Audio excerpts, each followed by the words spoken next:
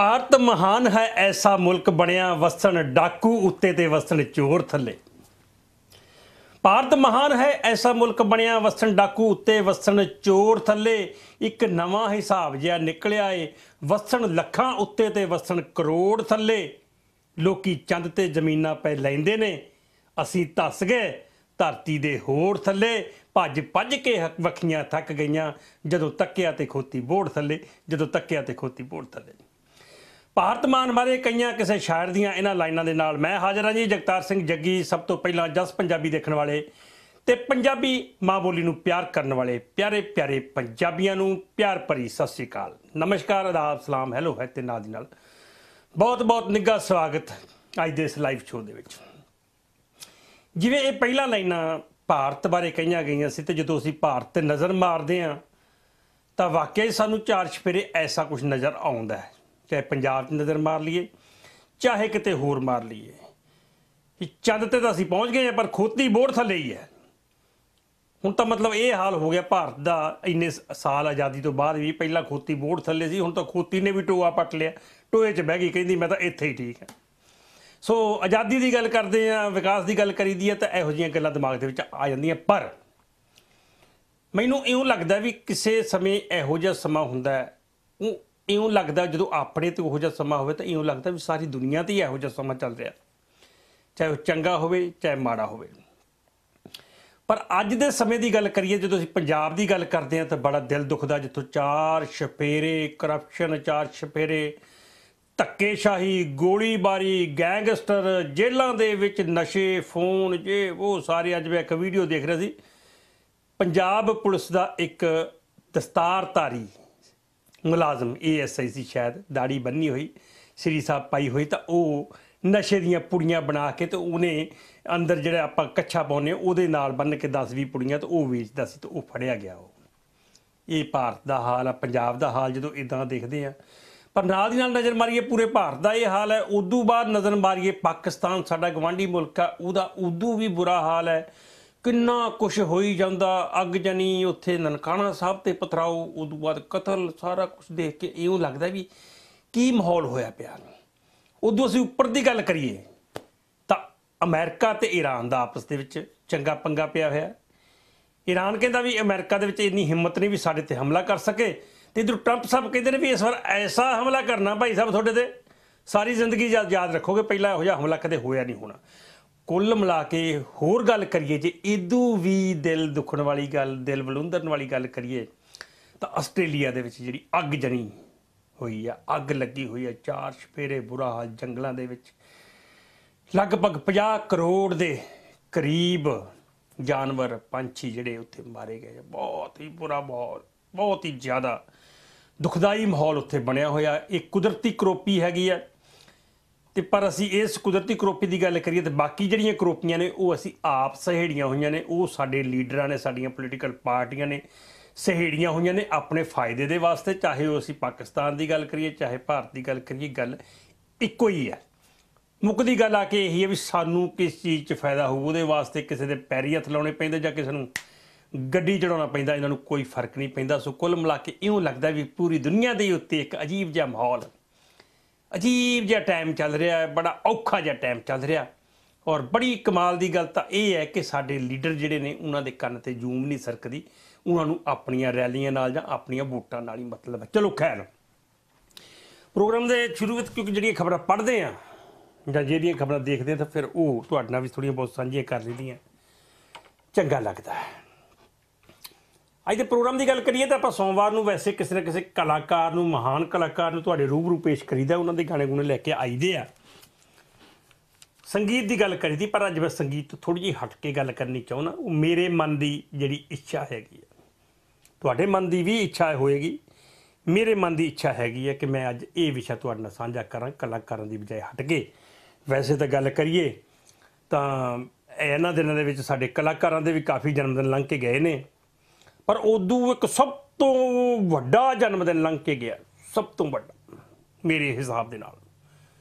ਅਗਰ ਉਹ ਬੰਦਾ ਦੁਨੀਆ ਤੇ ਨਾ ਜੰਮਦਾ, ਤਾਂ ਅਸੀਂ ਅੱਜ ਇਧਰਲੇ ਮੁਲਕਾਂ ਦੇ ਵਿੱਚ ਤਾਂ ਕੀ ਹਿੰਦੁਸਤਾਨ ਦੇ ਵਿੱਚ, ਭਾਰਤ ਦੇ ਵਿੱਚ ਵੀ ਸਾਰਾ ਲੈਂਦੇ ਹੁੰਦੇ। ਸਭ ਤੋਂ ਵੱਡਾ ਜਨਮ ਦਿਨ ਮੈਂ ਉਹਨੂੰ ਤਾਂ ਕਹਿਣਾ ਕਿਉਂਕਿ ਉਹ ਗਦਰ ਲਹਿਰ ਦੇ ਬਾਨੀ ਨੇ, ਫਾਊਂਡਰ ਨੇ ਗਦਰ ਲਹਿਰ ਦੇ। ਔਰ ਜਿਨ੍ਹਾਂ ਨੇ ਆਪਣੀ ਸਾਰੀ ਜ਼ਿੰਦਗੀ ਜਿਹੜੀ ਆ, ਉਹ ਸਾਡੇ ਲੇਖੇ ਲਾਤੀ। ਪੂਰੀ ਕੌਮ ਦੇ, ਪੂਰੇ ਦੇਸ਼ ਦੇ ਲੇਖੇ ਲਾਤੀ ਉਹਨਾਂ। ਨੇ ਸੋ ਮੈਂ ਗੱਲ ਅੱਜ ਕਰਨੀ ਚਾਹਾਂਗਾ ਜੀ, ਬਾਬਾ ਸੋਹਣ ਸਿੰਘ ਭਕਨਾ ਜੀ ਦੀ। ਬਾਬਾ ਸੋਹਣ ਸਿੰਘ ਭਕਨਾ ਨੂੰ ਸਾਰੇ ਜਾਣਦੇ ਨੇ। ਗਦਰ ਲਹਿਰ ਦੇ ਮੋਰੀ ਹੋਏ ਨੇ।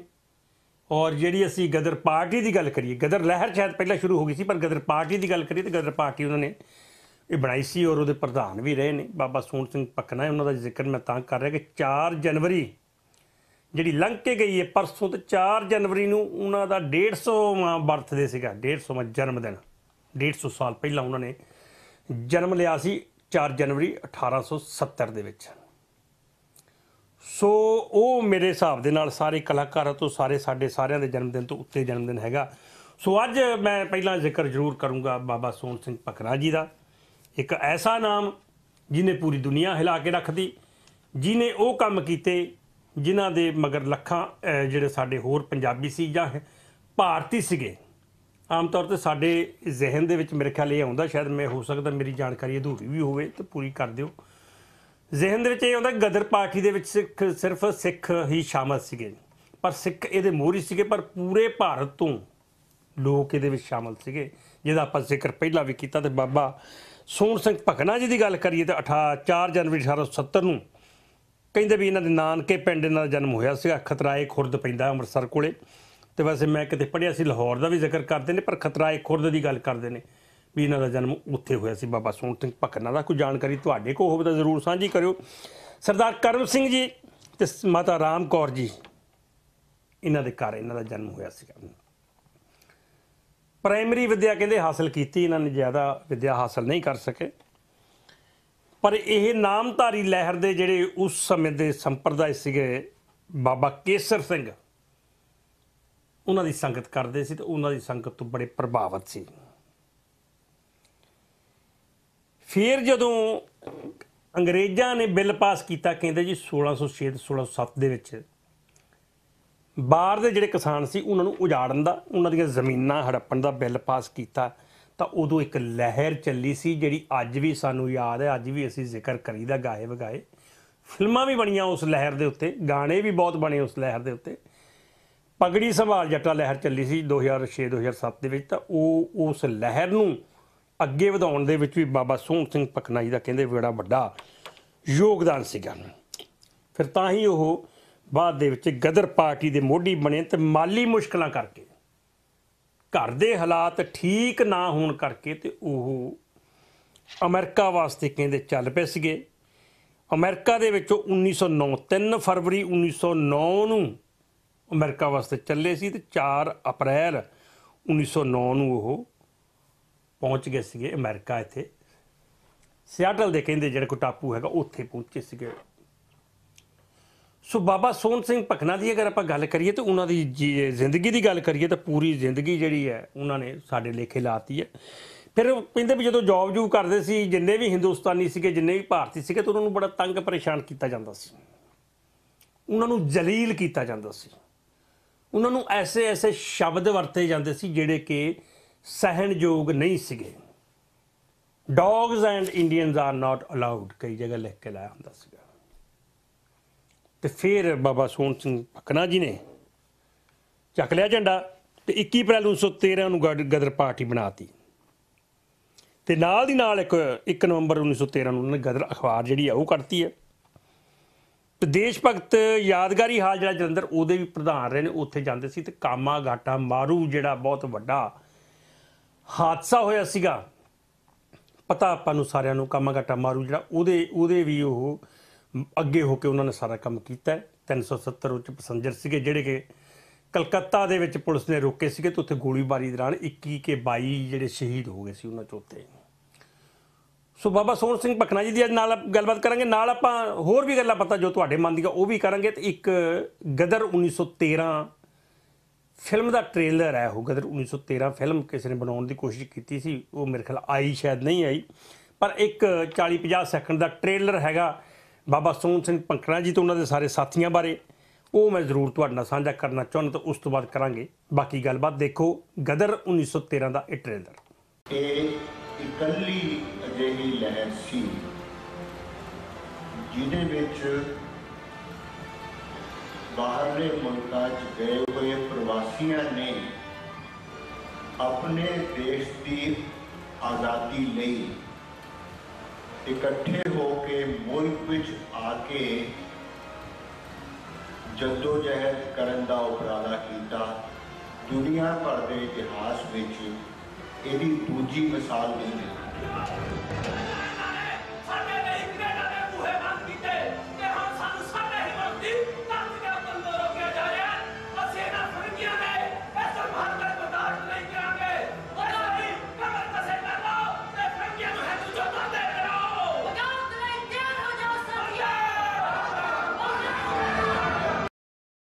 ਬਾਬਾ ਸੋਹਣ ਸਿੰਘ ਪਖਨਾ ਜੀ ਦੀ ਗੱਲਬਾਤ ਚੱਲ ਰਹੀ ਹੈ। ਛੋਟਾ ਜਿਹਾ ਟ੍ਰੇਲਰ ਮੈਂ ਤੁਹਾਨੂੰ ਦਿਖਾਇਆ ਤੁਹਾਡੀਆਂ ਕਾਲਾਂ ਸਿਲਸਿਲਾ ਸ਼ੁਰੂ ਹੋ ਗਿਆ। ਬ੍ਰੇਕ ਤੋਂ ਬਾਅਦ ਜ਼ਰੂਰ ਸ਼ੁਰੂ ਕਰਾਂਗੇ। ਜਿਹੜੀ ਸ਼ਿਪ ਸੀਗੀ ਕਾਮਾਗਾਟਾ ਮਾਰੂ ਦੀ, ਉਹ ਕਲਕੱਤਾ ਬਜਬਜ ਘਾਟ ਦੇ ਵਿੱਚ 19 29 ਸਤੰਬਰ 1914 ਨੂੰ ਜਿਹੜੀ ਹੈ, ਉੱਥੇ ਪੁਲਿਸ ਨੇ ਰੋਕ ਕੇ ਕਲਕੱਤਾ ਦੇ ਵਿੱਚ ਗੋਲੀਆਂ ਚਲਾਈਆਂ ਸੀ। ਇਹਦੇ ਉੱਪਰ ਕਾਮਾਗਾਟਾ ਮਾਰੂ ਦੇ ਉੱਪਰ। ਹੋਰ ਬੜਾ ਲੰਬਾ ਚੌੜਾ ਇਤਿਹਾਸ ਹੈਗਾ ਗਦਰੀ ਬਾਬਿਆਂ ਦਾ। ਕੋਈ ਸਾਂਝਾ ਕਰਨਾ ਚਾਹੂੰ ਸਾਡੇ ਵਿੱਚੋਂ ਦਰਸ਼ਕ ਔਰ ਬੜੇ ਮਾਣ ਦੀ ਗੱਲ ਆ ਸਾਡੇ ਵਾਸਤੇ, ਤਾਂ ਇੱਥੋਂ ਦੀ ਗੱਲ ਕਰੀਏ ਕੈਲੀਫੋਰਨੀਆ ਤੇ ਸਟਾਕਟਨ ਜਿਹੜਾ ਇਹਨਾਂ ਦਾ ਹੁੰਦਾ ਸੀਗਾ ਮੇਨ ਜਿਹੜਾ ਆਫਿਸ ਸਟਾਕਟਨ ਹੁੰਦਾ ਸੀ, ਗਦਰ। ਜਿਹੜੀ ਗਦਰ ਲਹਿਰ ਦੀ ਗੱਲ ਕਰਦੇ ਆ ਅਖਬਾਰ ਦੀ, ਤਾਂ ਉਹ ਹਜੇ ਵੀ ਪ੍ਰਿੰਟਿੰਗ ਮਸ਼ੀਨ ਜਿਹੜੀ ਉੱਥੇ ਪਈ ਹੈ। ਔਰ ਹੋਰ ਵੀ ਜ਼ਿਆਦਾ ਜਿਹੜੀਆਂ ਇਸ ਸਟਾਕਟਨ ਗੁਰੂ ਘਰ ਦੇ ਨਾਲ ਜੁੜੀਆਂ ਹੋਈਆਂ ਨੇ ਸਾਡੇ ਗਦਰੀ ਬਾਬਿਆਂ ਦੀਆਂ। ਔਰ ਉਹ ਡੇਕ ਵੀ ਹਾਲੇ ਤੱਕ ਹੈਗੀ ਆ, ਜੇ ਕਿਤੇ ਸਾਡੇ ਦਰਸ਼ਕ ਆਉਂਦੇ ਜਾਂਦੇ ਹੋਣ। ਜਿਹਦੇ ਥੱਲੇ ਬੈਠ ਕੇ ਕਰਤਾਰ ਸਿੰਘ ਸਰਾਭਾ ਨੇ ਲਿਖਿਆ ਸੀ, ਸੇਵਾ ਦੇਸ਼ ਦੀ ਜਿੰਦੜੀਏ ਬੜੀ ਔਖੀ ਤੇ ਗੱਲਾਂ ਕਰਨੀਆਂ ਢੇਰ ਸੁਖਲੀਆਂ ਨੇ। ਜਿਨ੍ਹਾਂ ਦੇਸ਼ ਦੀ ਸੇਵਾ ਵਿੱਚ ਪੈਰ ਪਾਇਆ ਤੇ ਉਹਨਾਂ ਲੱਖ ਮੁਸੀਬਤਾਂ ਚੱਲੀਆਂ ਨੇ। ਸੋ ਇਹ ਗੱਲਾਂ ਬਾਤਾਂ ਜਿਹੜੀਆਂ ਸਾਡਾ ਤਿਰੰਗਾ ਝੂਲਦਾ ਅਸੀਂ ਕਹਿ ਰਹੇ ਮਾਣ ਕਰਦੇ ਆ ਬੜਾ ਤਿਰੰਗੇ ਤੇ ਉਹ ਵੱਖਰੀ ਗੱਲ ਵੀ ਸਾਡੇ ਲੀਡਰਾਂ ਨੇ ਸ਼ਰਮ ਦੇ ਨਾਲ ਬਹੁਤ ਜਗ੍ਹਾ ਤਿਰੰਗੇ ਝੁਕਾਏ ਨੇ। ਉਹ ਵੱਖਰੀ ਗੱਲ ਹੈ, ਪਰ ਤਿਰੰਗਾ ਜਿਹੜਾ ਦੇਣ ਹੈਗੀ ਸਾਨੂੰ, ਇਹ ਬਾਬਾ ਸੋਹਣ ਸਿੰਘ ਪਖਨਾ ਗਦਰ ਪਾਕੀ ਤੇ ਹੋਰ ਜਿੰਨੇ ਸਾਡੇ ਸ਼ਹੀਦ ਹੋਏ ਨੇ ਭਗਤ ਸਿੰਘ ਜੀ ਦੀ ਗੱਲ ਕਰੀਏ ਉਦਮ ਸਿੰਘ ਜੀ ਦੀ ਗੱਲ ਕਰੀਏ ਤਾਂ ਹੋਰ ਜਿੰਨੇ ਵੀ ਸ਼ਹੀਦ ਹੋਏ ਨੇ ਰਾਜਗੁਰੂ ਸੁਖਦੇਵ ਸਾਰਿਆਂ ਦੀ ਗੱਲ ਕਰੀਏ ਤਾਂ ਉਹਨਾਂ ਦੀ ਬਦੌਲਤ ਤਿਰੰਗਾ ਮਿਲਿਆ। ਬ੍ਰੇਕ ਤੋਂ ਬਾਅਦ ਹਾਜ਼ਰ ਹੈ ਜੀ ਤੇ ਮੈਂ ਅੱਜ ਜ਼ਿਕਰ ਕੀਤਾ ਤੁਹਾਡੇ ਨਾਲ ਬਾਬਾ ਸੋਹਣ ਸਿੰਘ ਪਖਨਾ ਜੀ ਦਾ ਔਰ ਬੜਾ ਮਾਣ ਮਹਿਸੂਸ ਹੋ ਰਿਹਾ ਉਹਨਾਂ ਬਾਰੇ ਗੱਲ ਕਰਕੇ ਤੇ ਨਾਲ ਨਾਲ ਤੁਹਾਡਾ ਕਾਲਾਂ ਸਿਲਸਿਲਾ ਭਰਿਆ ਪਿਆ ਹੈ। ਤੇ ਮੈਂ ਤੁਸੀਂ ਅਹ, ਕਾਹਦੇ ਬਾਰੇ ਗੱਲ ਕਰਨਾ ਚਾਹੁੰਦੇ ਹੋ ਬਾਬਾ ਸੋਹਣ ਸਿੰਘ ਪਖਨਾ ਬਾਰੇ ਚਾਹੁੰਦੇ ਹੋ? ਕੋਈ ਜਾਣਕਾਰੀ? ਮੈਂ ਇਹ ਚਾਹੁੰਦਾ ਕਿ ਸਾਡੇ ਦਰਸ਼ਕਾਂ ਨੂੰ ਕੋਈ ਜਾਣਕਾਰੀ ਹੋਰ ਸਾਂਝੀ ਕਰੋ ਤੁਸੀਂ ਇਤਿਹਾਸ ਹੋਰ ਸਾਂਝਾ ਕਰੋ ਤਾਂ ਬੜਾ ਵਧੀਆ ਲੱਗੂਗਾ ਕਾਲਾਂ ਲੈਣੇ ਤੁਹਾਡੀਆਂ। ਹੈਲੋ। ਹੈਲੋ ਜੀ ਸਤਿ ਸ਼੍ਰੀ ਅਕਾਲ। ਸਤਿ ਸ੍ਰੀ ਅਕਾਲ ਜੀ ਜੱਲੀ ਵੀਰੇ ਕੀ ਹਾਲ ਚਾਲ ਹੈ? ਵਾਹ ਜੀ ਵਾਹ ਵਾਹ ਜੀ ਵਾਹ ਸੁਰਿੰਦਰ ਸਿੰਘ ਜੀ ਐਂ ਲੱਗਦਾ ਜਿਵੇਂ ਨਾ ਕਈਆਂ ਮੁੱਤਾਂ ਹੀ ਗੱਲਬਾਤ ਹੋ ਰਹੀ ਹੁੰਦੀ। ਆਪ ਪਿਛਲੀ ਵਾਰੀ ਮੈਂ ਦੋ ਕੁ ਵਾਰੀ ਲਾਇਆ ਲੇਟ ਥੋੜਾ ਜਿਹਾ ਫਿਰ ਨੰਬਰ ਨਹੀਂ ਆਇਆ ਪਿੱਛੇ ਰਹਿ ਗਿਆ ਕੰਮ। ਹਾਂ ਨਹੀਂ ਨਵੇਂ ਸਾਲ ਤੇ ਫਿਰ ਉਧਰ ਬਿਜ਼ੀ ਸੀ ਪਰ ਬੜਾ ਵਧੀਆ ਸੀ ਰੋਜ਼ ਪਰੇਡ ਦਾ ਕੰਮ ਵੀ ਜਿਹੜਾ ਇਹ। ਹਾਂ ਨਹੀਂ ਬਹੁਤ ਸੋਹਣਾ ਸੀ ਪ੍ਰੋਗਰਾਮ ਸਾਰੇ ਪ੍ਰੋਗਰਾਮ ਵਧੀਆ ਸੀ। ਭਾਈ ਕਨਈਆ ਜੀ ਦਾ ਬਹੁਤ ਵਧੀਆ ਸੀ। ਹਾਂਜੀ ਹਾਂਜੀ ਹਾਂਜੀ। ਕੀ ਕਹਿਣਾ ਚਾਹੁੰਦੇ ਜੀ? ਤੁਸੀਂ ਤਾਂ ਫਿਰ ਗੁਆਂਢ 'ਚ ਹੀ ਰਹਿੰਦੇ ਹੋ ਸਟਾਕਟਨ ਦੇ? ਹਾਂਜੀ ਹਾਂਜੀ ਹਾਂਜੀ। ਇਹ ਕੀ ਕੋਈ ਜਾਣਕਾਰੀ ਸਾਡੇ ਦਰਸ਼ਕਾਂ ਨਾਲ ਸਾਂਝੀ ਕਰੋ ਤੇ ਨਾਲ ਦੀ ਨਾਲ ਗੱਲਬਾਤ? ਜਾਣਕਾਰੀ ਤਾਂ ਸਾਡੇ ਏਰੀਏ 'ਚ ਬਹੁਤ ਹੋਏ ਆ ਜਿੱਦਾਂ ਨਵੇਂ ਸ਼ਹਿਰ ਤੋਂ ਲਾ ਕੇ ਹੁਸ਼ਿਆਰਪੁਰ ਤਾਂ ਜਿਹੜੀ ਪੱਟੀ ਨਾ ਵਿੱਚੋਂ ਵਿੱਚ ਜਾਂਦੀ ਡੁਬਿੱਡਾ ਹਰਿਆਣਾ ਦੇ ਮੇਟੀਆਣਾ ਹੂੰ।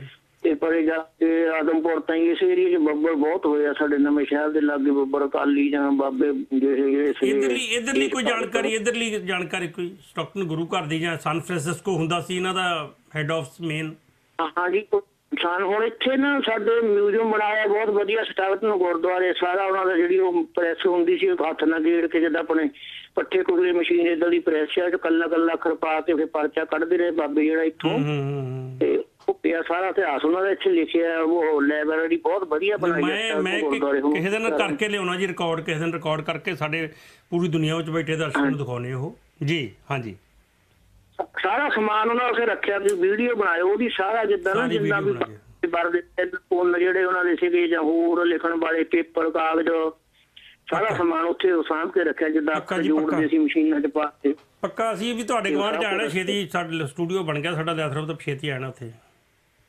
ਕਿੱਥੇ ਜੀ? ਲੈਥਰੋਪ ਲੈਥਰੋਪ। ਆ ਜਾਓ ਆ ਜਾਓ ਫਿਰ ਸਟੂਡੀਓ ਜਾ ਕੇ ਬਹਿ ਕੇ ਗੱਲ ਕਰਿਆ ਕਰਾਂ ਮੈਂ ਕਿ ਮੈਂ ਤੁਹਾਨੂੰ ਸਟੂਡੀਓ ਬੁਲਾ ਲਿਆ ਕਰਨਾ ਫਿਰ ਅੱਛਾ ਹਾਂਜੀ ਅੱਜ ਕੀ ਸੁਣਾਉਣਾ ਚਾਹੁੰਦੇ? ਕਾਲਾਂ ਬਹੁਤ ਨੇ ਥੋੜਾ ਜਲਦੀ ਆਪਾਂ ਕਰੀਏ। ਕਹਿੰਦਾ ਦਿਲ ਗੱਭਰੂਆਂ ਦੇ ਟੁੰਬਣ ਲਈ ਅੱਜ ਟੁੰਬਣ ਲੱਗਾ ਕਾਨੀ ਨੂੰ ਮੈਂ ਅੱਖਾਂ ਦੇਸ਼ ਪੁਜਾਰੀ ਨੂੰ ਇਸ ਯੋਧੇ ਹਿੰਦੁਸਤਾਨੀ ਨੂੰ। ਹੂੰ। ਇਸ ਸੋਹਣੇ ਵੀਰ ਪੰਜਾਬੀ ਨੂੰ ਨਲਵੇ ਪੋਸ ਦੇ ਸਾਨੀ ਨੂੰ ਜਿਸ ਦੱਸੇ ਹੱਥ ਸਿਕੰਦਰ ਨੂੰ ਤੇ ਨਾਬਰ ਜਿਹੇ ਬਮਾਨੀ ਨੂੰ ਉਹ ਵੀਰ ਵੇਖ ਲੈ ਕੌਰ ਨਾਲ ਭਾਰਤੀ ਜ਼ਮੀਰ ਵਾਲੀ ਨੂੰ। ਇਸ ਆਜ਼ਾਦੀ ਦੇ ਕਰਿਸ਼ਮਿਆਂ ਨੂੰ ਤੇ ਚਾਲ ਇਹਦੀ ਮਸਤਾਨੀ ਨੂੰ ਕਿਸਾਨ ਦੇ ਦੁੱਖਾਂ ਦਰਦਾਂ ਨੂੰ ਮਜ਼ਦੂਰਾਂ ਦੀ ਪਰੇਸ਼ਾਨੀ ਨੂੰ ਹੂੰ ਸਰਮਾਏਦਾਰੀ ਚਾਲਾਂ ਨੂੰ ਵੀਰਾਂ ਦੀ ਸ਼ੈਤਾਨੀ ਨੂੰ ਜੀ ਰਿਸ਼ਵਤ ਦੀ ਹਾਲ ਦੁਹਾਈ ਨੂੰ ਚੋਰਾਂ ਦੀ ਕਾਰਸਤਾਨੀ ਨੂੰ ਹੂੰ ਜਨਤਾ ਦੀ ਬੇਤਵਾਰੀ ਨੂੰ ਅਖਬਾਰ ਦੀ ਗਲਤ ਬਿਆਨੀ ਨੂੰ ਦੁਨੀਆ ਦੇ ਵਾਧੇ ਝਗੜੇ ਨੂੰ ਭਾਰਤ ਦੀ ਅਮਨ ਨਿਸ਼ਾਨੀ ਨੂੰ ਜੀ। ਇਹਦੇ ਮਿੱਤਰ ਚੰਚਲ ਗੋਲਿਆਂ ਨੂੰ ਤੇ ਭੇੜੀ ਪਾਕਿਸਤਾਨੀ ਨੂੰ। ਇਹਦੇ ਦਰਦੀ ਰੂਪ ਤੇ ਚੀਚਨ ਦੇ ਅਮਰੀਕਾ ਜਿਹੇ ਦਾਨੀ ਨੂੰ ਜੀ। ਖੁਦਗਰਦੀ ਮਗਲ ਪ੍ਰਾਪਤ ਨਵੀਂ ਸਿਆਸਤਦਾਨੀ ਨੂੰ ਹੂੰ। ਤੂੰ ਵਾਂਗ ਬਜ਼ੁਰਗਾਂ ਦੇ ਦੁਸ਼ਮਣ ਨੂੰ ਅੱਜ ਯਾਦ ਕਰਕੇ ਦੇ ਨਾਨੀ ਨੂੰ। ਉੱਠ ਜਾਗ ਜਵਾਨਾ ਦੇਸ਼ ਦੇ ਤੂੰ ਬਾਹਰ ਦੇਸ਼ ਜੰਦਗਾਨੀ ਉੱਠ ਜਾਗ ਜਵਾਨਾ ਦੇਸ਼ ਦੇ ਤੂੰ ਬਾਹਰ ਦੇਸ਼ ਜੰਦਗਾਨੀ ਜੀ ਬਹੁਤ ਮਿਹਰਬਾਨੀ। ਹੈਲੋ। ਹੈਲੋ। ਹੈਲੋ। ਜੀ ਸਤਿ ਸ਼੍ਰੀ ਅਕਾਲ ਜੀ। ਹਾਂਜੀ ਜੱਗੀ ਸਤਿ ਸ੍ਰੀ ਅਕਾਲ। ਮੈਂ ਗੁਰਮੇਲ ਸਿੰਘ ਧੀਰ ਬੋਲਦਾ ਜੀ ਜੀ? ਧੀਰ ਸਾਹਿਬ ਬਹੁਤ ਬਹੁਤ ਸਵਾਗਤ ਹੈ ਜੀ। ਮੇਰੇ ਖਿਆਲ ਨਵੇਂ ਸਾਲ ਚ ਪਹਿਲੀ ਵਾਰ ਗੱਲ ਹੋ ਰਹੀ ਹੈ ਆਪਣੀ ਹੋ ਗਈ ਸੀ? ਹਾਂ ਮੇਰੇ ਖਿਆਲ ਪਹਿਲੀ ਵਾਰੀ ਹੋ ਰਹੀ ਹੈ। ਚਲੋ ਜੀ ਬਹੁਤ ਬਹੁਤ ਤੁਹਾਨੂੰ ਬਹੁਤ ਸਵਾਗਤ ਹੈ। ਬਹੁਤ ਹਾਂਜੀ ਮੁਬਾਰਕਾਂ। ਚੜ੍ਹਦੀ ਕਲਾ ਤੁਸੀਂ ਤੁਸੀਂ ਅੱਜ ਦੇਸ਼ ਦੇ ਮਹਾਨ ਗੱਦਰ ਬਾਬੀ ਪਾਰਟੀ ਦੇ ਬਾਬੇ ਉਹਨਾਂ ਨੂੰ ਯਾਦ ਕੀਤਾ। ਜੀ। ਤੇ ਬਾਬਾ ਸੋਹਣ ਸਿੰਘ ਪਕਣਾ ਮੈਂ ਉਦੋਂ 10ਵੀਂ ਚ ਪੜ੍ਹਦਾ ਸੀ 1967 ਦੀ ਗੱਲ ਹੈ ਅੱਛਾ ਜੀ। ਜਦੋਂ ਇਹਨਾਂ ਦਾ ਦੇਹਾਂਤ ਹੋਇਆ ਸੁਰਗਵਾਸ ਹੋਇਆ ਤਾਂ ਸਾਡਾ ਮਨ? ਅਜੀਤ ਅਜੀਤ ਅਖਬਾਰ 'ਚ ਮੈਂ ਇਹ ਖਬਰ ਪੜ੍ਹੀ। ਕਿਉਂਕਿ ਮੈਂ ਕਲਾਸ ਦਾ ਮੋਨੀਟਰ ਹੁੰਦਾ ਸੀ ਮੈਂ ਸਾਰੇ ਸਟੂਡੈਂਟ ਨੂੰ ਦੱਸਿਆ। ਅੱਛਾ ਸਾਡਾ ਮਨ ਬੜਾ ਦੁਖੀ ਹੋਇਆ। ਤੇ ਸਾਡੇ ਸਕੂਲ ਦੇ ਵਿੱਚ ਫਿਰ ਛੁੱਟੀ ਕਰ ਦਿੱਤੀ ਗਈ ਸੀ। ਅੱਛਾ ਜੀ ਅੱਛਾ। ਹਾਂਜੀ।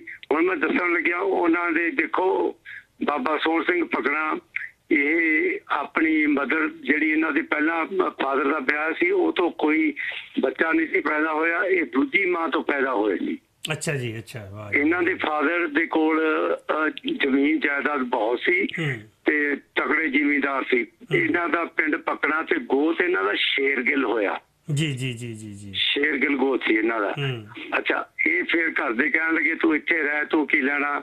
ਬਾਬਾ ਕੇਸਰ ਸਿੰਘ ਦੀ ਸੰਗਤ ਕਰਕੇ ਇਹਨਾਂ ਵਿੱਚ ਗੁਰਬਾਣੀ ਦਾ ਬਹੁਤ ਇਹਨਾਂ ਨੂੰ ਨੌਲੇਜ। ਸੀ ਤੇ ਕੀਰਤਨ ਵੀ ਕਰਦੇ ਸੀ। ਜੀ। ਫਿਰ ਇਹ ਅਮਰੀਕਾ ਆ ਗਏ ਨਹੀਂ ਰਹੇ ਤੇ ਸਿਆਟਲ ਉੱਥੇ ਆਏ ਵੈਨਕੂਵਰ ਸਿਆਟਲ ਸਿਆਟਲ ਦੇ ਵਿੱਚ ਇਹਨਾਂ ਨੇ ਆ ਕੇ ਇਕੱਠੇ ਹੋ ਕੇ ਜਿਹਦੇ ਵਿੱਚ ਬਾਬਾ ਸੋਹਣ ਸਿੰਘ ਪਕਣਾ ਬਾਬਾ ਜਵਾਲਾ ਸਿੰਘ ਤੇ ਹੋਰ।